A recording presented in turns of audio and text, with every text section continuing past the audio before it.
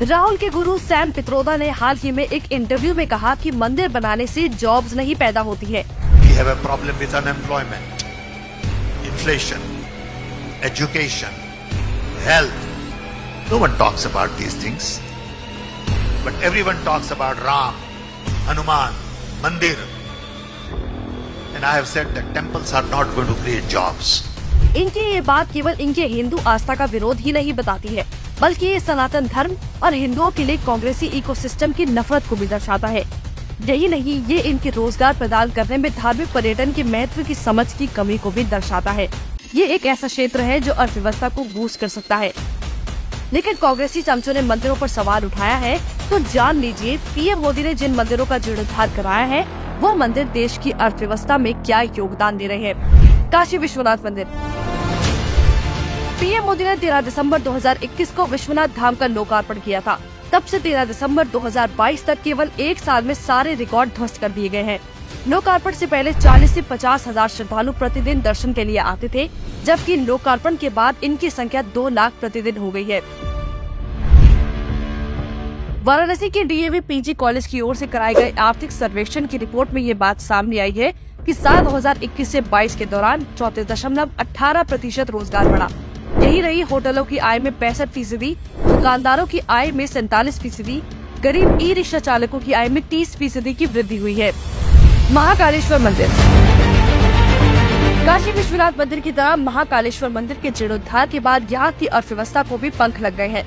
मंदिर समिति के मुताबिक सितंबर 2022 तक यहाँ रोज़ाना पंद्रह हज़ार श्रद्धालु ही पहुँचते थे, जिनकी संख्या अब बढ़कर एक दशमलव पच्चीस लाख से डेढ़ लाख पर पहुँच गई है। शनिवार से सोमवार के बीच ये आंकड़ा दो लाख तक पहुँच जाता है। कांग्रेसियों को नहीं लगता कि इससे लोकल इकोनॉमी को बूस्ट मिलता होगा। यही नहीं, ज़ाहिर है विश्वनाथ मंदिर की तरह यहाँ भी श्रद्धालुओं की संख्या बढ़ने से यहाँ की भी दुकानदारों, होटल्स ई रिक्शा आदि की आय में वृद्धि हुई होगी। बाबा केदारनाथ धाम। महादेव की नगरी उत्तराखंड केदारनाथ धाम के जीर्णोद्धार के बाद श्रद्धालुओं की पसंदीदा जगहों में से एक बन गई है। साठ दस साल इनकी संख्या में भारी वृद्धि हो रही है। इस वजह से साल 2022 के सीज़न में यहाँ के गरीब घोड़ा खच्चर और डोली वालों ने एक सौ एक दशमलव चौतीस करोड़ रुपए का कारोबार किया था। यही नहीं, हेलीकॉप्टर सेवा प्रदाता कंपनियों ने केदारनाथ धाम से पिछहत्तर दशमलव चालीस करोड़ रुपए से ज़्यादा की कमाई की थी। श्रद्धालुओं की वजह से होटल मालिकों और दुकानदारों की तो मौज हो रही थी। साथ ही राज्य सरकार को भी गाड़ियों की पार्किंग से अच्छी आय हुई। सीतापुर और सोनप्रयाग पार्किंग से उत्तराखंड सरकार को लगभग पिछहत्तर लाख रुपए का राजस्व मिला था। क्यों बढ़ रहे हैं, इन मंदिरों में श्रद्धालु। इन मंदिरों में आने वाले श्रद्धालुओं की संख्या अचानक से बढ़ जाना कोई जादू नहीं है। मोदी सरकार ने जीर्णोद्धार का काम सिर्फ़ पेपर पर नहीं किया, उसे ज़मीन सर पर उतारा है। सरकार ने इन मंदिरों के दर्शन करने वाले श्रद्धालुओं के लिए यात्रा को सुगम बना दिया। विभिन्न शहरों से यहाँ जाने वाली हाई स्पीड ट्रेनों के रूट को जोड़ दिया है।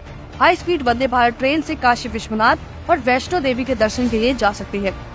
यही नहीं, मोदी सरकार जम्मू में नए एयरपोर्ट बनाने की योजना पर काम कर रही है, जिसमें कटरा को प्राथमिकता दी जाएगी। कटरा में हवाई अड्डा बनने की वजह से यात्रा और आसान हो जाएगी। यही नहीं, सड़क मार्ग से आने वाले श्रद्धालुओं के लिए नए एक्सप्रेसवे बनाए हैं, जिसकी वजह से दिनों का सफ़र घंटों में तय होता है। तब जाकर लगातार 18-18 घंटे की मेहनत के बाद आज श्रद्धालुओं की संख्या में ये अप्रत्याशित परिवर्तन आ पाया है। धार्मिक पर्यटन नौकरियाँ पैदा कर रही है, लेकिन ये बात चादरें चढ़ाने वाले और ताजमहल के चक्कर काटने वाले को नहीं समझ आ सकती। मोदी जी के पास ये समझने का विजन है कि हमारी विरासत को संरक्षित करना और उसे दिखाना केवल हमारे हिंदू भारतीय सभ्यता से सनातन गौरव के लिए ज़रूरी नहीं है, बल्कि इससे हमारी अर्थव्यवस्था को भी अत्यधिक बढ़ावा मिलता है।